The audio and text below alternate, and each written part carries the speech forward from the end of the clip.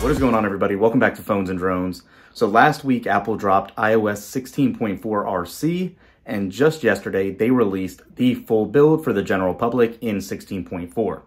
Now if you guys follow the channel, you know we had a, a ton of issues including overheating and battery drain with 16.4 in general with that RC. I'm happy to say Apple has updated the build number for the actual public release. We've been using it now for a day and I wanted to give you guys some feedback.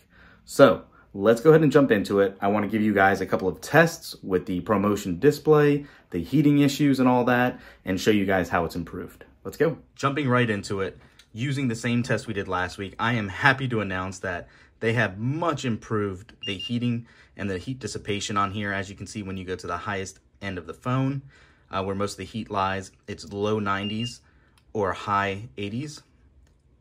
And this is Fahrenheit, obviously, so for those of our international users, it's not Celsius, but you can see this is a huge improvement over what we were getting last week when we were running the RC build and it was running over 106 to 107 degrees a lot of the time. So this new build has improved on that. We ran the same test before doing this.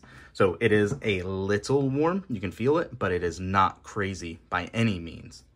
Beyond that, logging in, as you guys can see here on the dynamic island, we went ahead and activated the ProMotion display refresh rate and the frames per second. And again, I'm happy to say when scrolling now, it is going up to 120, dropping to 80 or 60, but no other drops below that. So it has been very smooth and it is refreshing as you would anticipate and expect it to do.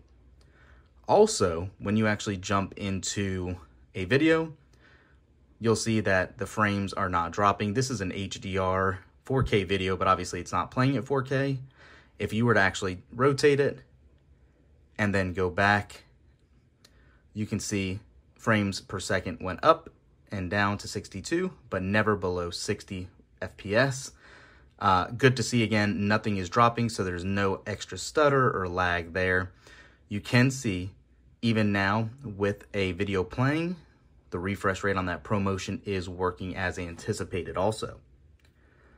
The difference in this build from the other one, if we jump into settings, general, and about, you can see our prior version was 20E246. This is now 20E247, so a slight improvement, but a newer build nonetheless.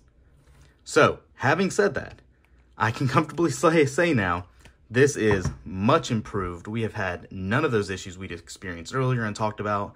So I'm assuming it's still not going to be flawless. Apple's new track record with uh, software updates has not been the best.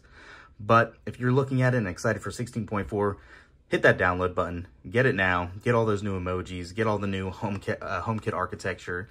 All of those push notification for web apps. All the other improvements you want. Download it right now. Thanks for watching, guys. We'll catch you in the next one. Peace.